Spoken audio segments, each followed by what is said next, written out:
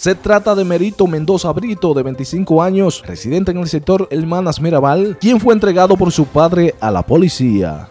La policía apresó al nombrado Mérito Mendoza Brito, de 25 años de edad, quien reside en el sector Hermanas Mirabal, aquí en San Francisco de Macorís. Presentándose de inmediato a este cuartel el padre del detenido, el señor Leoncio Mendoza Brito, el cual hizo entrega de manera voluntaria de la cantidad de 10 bermudas jean, 7 pantalones jean largo, 2 pares de tenis, un par de tenis Nike, 3 pares de chancletas de diferentes marcas, una computadora HP y 3 rollos para poner código.